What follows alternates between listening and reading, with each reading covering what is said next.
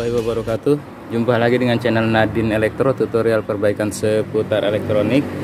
Terima kasih sudah menonton video ini. Semoga kawan-kawan semua selalu disehatkan Dan selalu dimudahkan milik rezekinya. Amin. Pada video ini saya akan uji coba ya.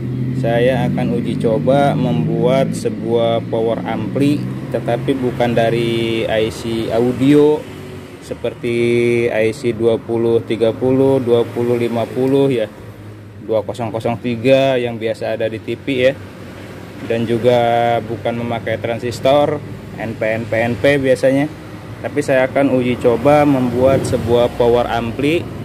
Power ampli dari IC vertikal seperti ini. Bisa IC LA78040 LA78141 dengan tegangan simetris maupun tegangan non simetris ya. Karena kalau saya lihat dari skema vertikal ini bisa dilihat skemanya itu sangat identik ya sangat mirip dengan eh, rangkaian audio ya power ampli audio. Maka saya eh, penasaran eh, pengen mencoba ya pengen mencoba share ya apakah akan berhasil IC vertikal ini dibikin menjadi IC audio. Oke lanjut kita langsung ke triknya aja. Jadi untuk video kali ini untuk lebih cepatnya saya tidak akan merakit dari awal ya. Saya tidak akan merakit rangkaian dari awal IC vertikal ini yang akan kita jadikan IC audio. Tapi saya akan uji coba ya. Saya akan uji coba menggunakan ini rongsokan ya saya akan uji coba menggunakan rongsokan yang sudah ada IC vertikalnya. Ini TV-nya sudah rusak ya entah rusak apanya lupa. Tetapi kalau saya lihat ini dari rangkaian IC vertikalnya masih komplit ya. Masih lumayan komplit. Nah ini masih lumayan komplit cuman IC-nya sudah hilang saya pasang kembali ya. Saya hilang sudah hilang IC vertikalnya saya pasang kembali. Ini terlihat dari solderan baru Nah oke okay, mari kita uji coba rangkaian IC vertikal ini. Tidak usah kita potong dulu ya. Tidak usah kita potong dulu. Akan kita nyalakan di sini.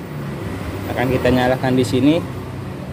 Untuk langkah awal kita siapkan beberapa kabel ya untuk jumper untuk jumper tegangan maupun jumper out speaker kita siapkan untuk jumper tegangan ya.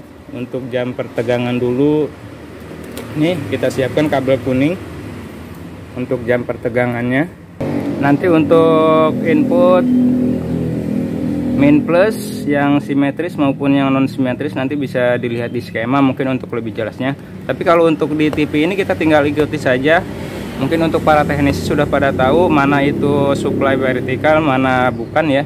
Untuk supply IC vertikal kalau saya lihat di sini yaitu dari power supply ya. Di sini biasanya 24 volt. Nah 24 volt di sini kita kasih plusnya kemudian untuk minusnya biasa kita taruh saja di ground ya.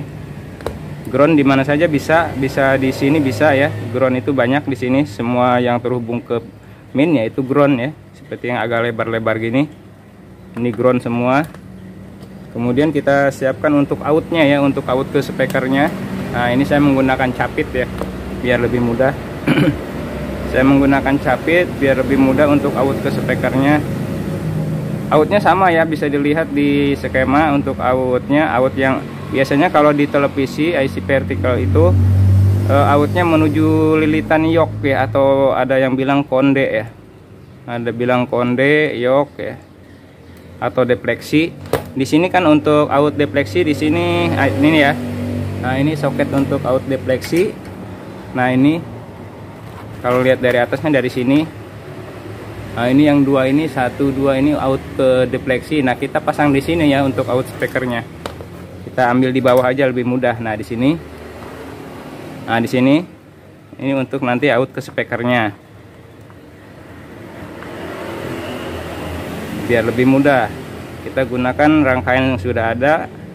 Kalau kita rakit dari IC 0 mungkin agak lama ya. Nanti tutorialnya terlalu lama kita bisa bikin dari skemanya ada ya di internet-internet untuk skemanya. Nah ini sudah siap tinggal kita nanti siapkan untuk input ya sob. Siapkan untuk input. Biasanya untuk IC vertikal ini inputnya di pin 1 ya sob. Nah kita siapkan seperti ini ya RCA ini saya ada RCA bekas tip mobil. Nah kita biasanya kalau IC vertikal ini uh, untuk inputnya biasanya dari pin 1 kita telusuri dia akan ketemu resistor dengan nilai sekitar uh, eh, 5k atau ya atau 15k biasanya. Nah ini nih ini sudah ketemu mas saya. Resistornya ini kalau kita urut masuk ke pin 1 ya ke sini kemudian dia masuk ke IC Chrome. Karena audio utamanya dia di sini nah kita kita cut aja yang menuju IC Chrome ini. Kita putus nih jalurnya ke sini ya. Kita lepas. Nah nanti kita inputnya ngambil di sini ya. Nah kita inputnya ngambil di resistor yang 15k Tergantung sih ada yang 15k kadang ada yang 50k juga ada ya. Nah seperti ini. Untuk groundnya ya kita ke ground aja. Ke mana aja groundnya kalau di sini. Ya di sini masih ground nih karena ini yang bukan simetris ya. Ada juga untuk IC vertikal yang di supply simetris. Kalau ini masih non simetris 24 volt. Nah ini kita udah siap nih uji coba nih. Ini untuk spekernya ya. Oke kita uji coba dulu. Karena saya tidak punya adaptor yang 24 volt saya pakai aki ya. Kita coba pakai aki apakah mampu ya? 12 volt. Seharusnya bisa ya. Karena karena untuk IC vertikal ini memang didesain untuk tegangan sekitar segitu ya 12 sampai 24 sampai 230 masih kuat ya kalau yang 78141 nya Oke kita pasang untuk akinya. Akinya nanti belakangan ya. Kita pasang untuk speakernya ya. Nah kita pasang untuk speakernya nah ini speakernya sudah saya siapkan. Saya pakai speaker ini bekas Polytron ya bekas TV Polytron. Satu aja dulu speakernya nah kita jepit aja ke sini biar mudah ya. Kita jepit ke sini biar mudah. Oke. Nah oke. Kemudian untuk tegangannya kita pasang ya. Untuk tegangannya kita pasang. Nanti kalau sudah jadi ini bisa dipotong sob. Ini bisa dipotong blok vertikal di gergaji ya. Keren kayaknya. Audionya akan lebih mantap karena bisa sekitar 24 volt. Oke lanjut kita coba dulu oke kita pasang audionya. Saya ngambil dari ini YouTube ya. Dari laptop. Dari laptop outnya. Karena HP-nya lagi dipakai buat merekam.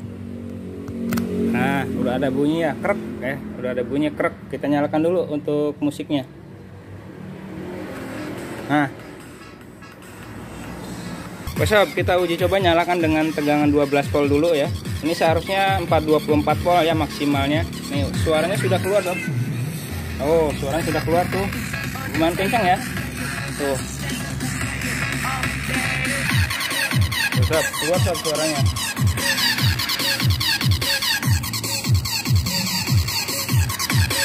Belum saya pulkan ya dari sininya. Ini belum saya pulkan dari laptopnya karena belum pakai volume.